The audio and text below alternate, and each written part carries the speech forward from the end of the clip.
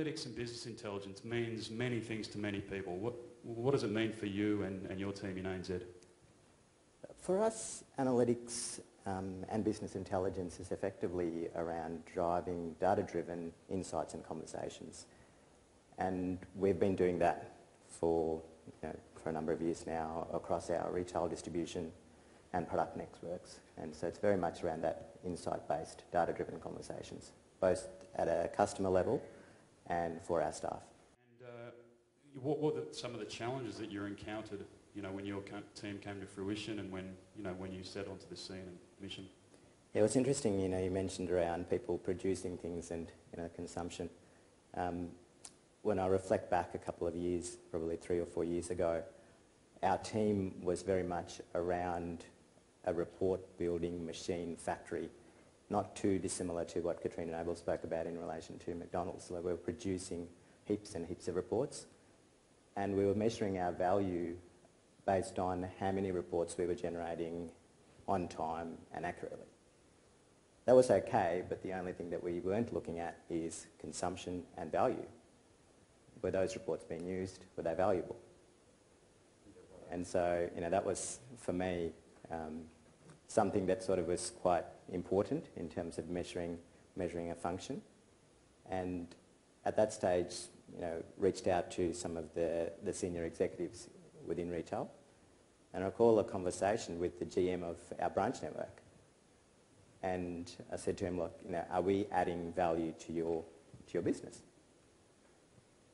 And he, he invited me to his side of the desk. He opened up the, um, one of our many reporting sites and he said, where do I look?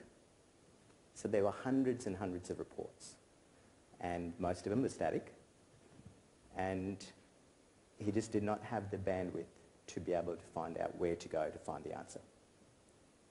So that was quite pivotal and we knew that we had to change how did you change? I mean, change in banking uh, is not easy.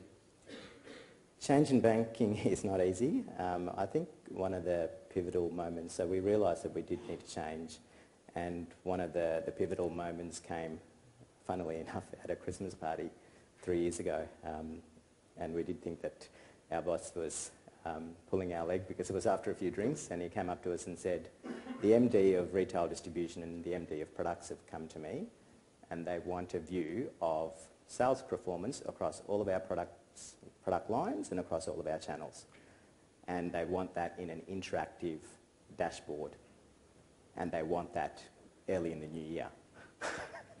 so, um, you know, we have hundreds of data feeds, um, infrastructure that's not that great. Um, so that was something that was nigh on impossible. Um, at that stage, we knew that there were some conversations happening in the organisation with Qlik, and uh, we reached out and we said, look, we've got this challenge. We need to bring a whole heap of information together, put it together in an interactive way in a single dashboard. Um, can you guys help us? And the results were quite significant. Um, we produced that dashboard within the four weeks that we had. We sat back with the MDs and we showed them the interactive nature of the dashboards and they were blown away. Um, we showed them a working prototype. Once we had the executive support, it did make it a little bit easier. Uh, technology, and I'm not um, the only one here that would profess this, that technology were difficult to uh, convince um, in relation to adopting and Im implementing the tool into the organisation. Architectural decisioning was was challenging. Um, there was a lot of questions about, is this the tool that we have to use for BI?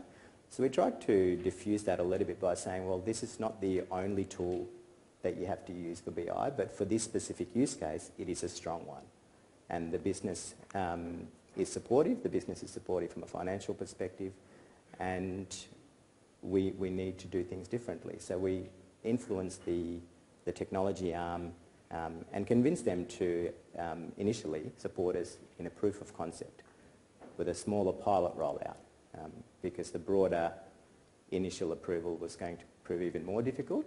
So we said, well, let's, let's scale it back. Let's give us approval for 125 users, um, contained, Um, and we will manage, we'll manage all of the change, we'll manage all of the implications. And so we were able to get the approval for that, to prove the value. Nice one. And where did you go from 125? What sort of uh, adoption did you get and how? Yeah, so the adoption was very strong um, from our frontline and very much they embedded it into their daily practices. So it was basically used for conversations around, well, your branch is doing this, um, you know, the CBD branch is um, doing a lot more um, strongly in terms of performance. What's the difference? Why is it the case? Um, so it was very much used for coaching conversations and very quickly those 125 and that was aimed at just, um, district managers and general managers and they were demanding and they were saying, well, when can I get this into the hands of my staff? So we are now at 3,000 plus um, licenses and users of Qlik across the organisation. So the entire retail distribution network and our product teams have got that. Um, and yeah, it's, it's been a, a significant success story. But that's a large uplift, 120 to 3,000. I mean, how did you manage that change? I mean, people, some people might have liked those reports, some people might, might have been a bit afraid of the new. Yeah, I think the key was embedding it into the practices. Um, the district managers, the GMs, they were all using that dashboard for the conversations. We also concurrently turned off close to 200 odd historical legacy reports, so we no longer gave them access to it. So the, it was the single source of truth and it was where the conversations were happening. That'll always help. well, it, it, it, helps and it unfortunately doesn't happen always, right, in terms of system implementations and implementations of new tools come, but then the legacy system remains. And we've got that even in the bank where you keep the two running, people are people that don't embrace change quickly enough and therefore they'll continue to use the old one. So we were able to prove the value and then we turned off the old and through the conversations being have, happening around the dashboards, it really did help us in terms of the change management. With that many people, you're going to get a lot of change, a lot of evolution. How did you not become a bottleneck yourselves? Yeah, we weren't, and we're not uh, a big team in terms of the BI space, and so we recognised that we didn't want to be the bottleneck in relation to demand. We have got an offshore operation in China, um, which we armed up to help with the development. More recently, we've also developed practices around self-service, so Qlik with some knowledge um, is able to be used by a number of our dispersed analytic teams. Um, so they do a lot of the, the prototyping and the development of the initial dashboards, which then gets sent across to our Chengdu arm to productionise into, um, into the sort of sustainable solution. What's next and what are some of the more advanced or current thinking for your group? Yeah, so our group is, I guess, transitioning and our focus has been a lot more around our strategic priority, which is next best conversations. And we're now using Qlik and also the dashboards to, to drive some of those conversations in the front line. Um, you know, a good example is, you know, if you to booked a, a, an airfare using your credit card, we know that your behaviours and your spend behaviours are going to be different in coming months that information is very powerful for the way in which we produce our leads and offers and give them to our frontline. So we have done that in terms of incorporated that information in terms of our modelling. We've put that into the dashboard so that they know that they've got a, a higher propensity to take up in terms of the conversations that they're having. And we are able to monitor it effectively through the use of Qlik. As a result of the change of focus and as a result of being a bit more targeted in relation to our selection criteria, we're achieving about 136% compared to prior year in relation to our conversion of our leads. If you're sitting here in the audience and you were starting this journey again, what, what, would, what would you say would be those success factors or why this worked for you? I think the three that come to mind for me is, you know, we, we did have that executive buy-in right at the start. And I think that was important in terms of influencing the organisation. We had the, the users, I guess in terms of embedding it into daily practices, that was achieved very early on in the piece as well. So it was embedded into the weekly rituals, the stand-ups, the way in which the frontline was being managed. And then for me, the last would probably be the fact that we didn't REST, after we released the first lot of dashboards, we, we incorporated an, an agile mindset in terms of the fact that we need to keep evolving this. We need to think about things like user experience. We need to uh, look at the different personas of the people um, that are using it and adjust it accordingly to what they want to see. How has the tool evolved the conversation between management and the front line? Because the front line is at the, at the customer end. Yeah. And as we've heard the last day and a half, being able to work from the customer back is very powerful. But at some point, what the front line is saying and the management believe, there's going to be a clash. How does that look? Yeah, I think it's improved it significantly because, you know, Stu mentioned before that a lot of the, the historical reports were, I wouldn't say manipulated, but they were all sort of had different versions of the truth. Um, and now the conversations are based on a single set of information. Um, and the conversations are very much driven, even at a coaching or customer level, around what is this telling us.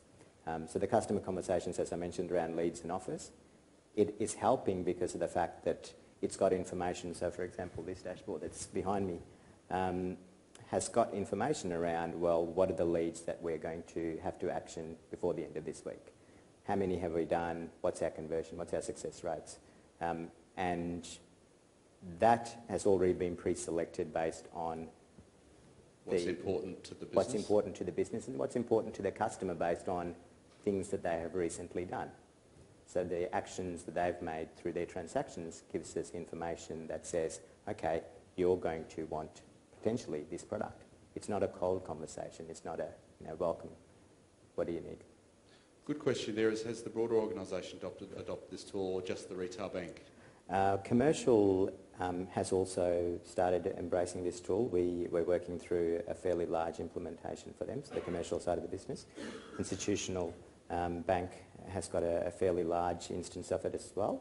Um, we were one of the first to, to get, I guess, off the ground, but now it's, uh, I think across the organisation we're probably about 5,000 odd licences for Qlik. Um, so it is, it is growing in terms of the adoption across the organisation. Just a broader question, how uh, data savvy would you say ANZ is now compared to say two years ago? Because, uh, and the reason I ask that question is that um, uh, through ABNF we've been having data conversations with banking in about, for about five years, Mm-hmm. but I know for a fact that most of the banks haven't really been using data very effectively until about three years ago, which Yeah. means understanding how to use data and be data savvy is, is only a relatively new phenomenon. Is that the case ANZ? Yeah, I think that's, that's a fair comment in relation to, we've had reporting for a long time, so in terms of information that's there in the hands of decision makers, in the hands of frontline. But I think it's becoming more, um, it's, it's being lifted to a higher level now in terms of the, the way in which people are interacting and making decisions out of that. Um, it's the ability to drill down and understand what's going on a little bit more clearly. Um, it's being conscious of the fact that there's a lot of information that's there um, in order to think about the decisions. Um, so I think significantly improved in relation to the data savviness. Unless there's any more questions from the floor, I think it's time to uh, thank Sudha and Stuart for giving us this insight into what is a really important reform for how data is used within an organisation, which I know for many of you is actually a really significant challenge. Put your hands together, please, for our speakers.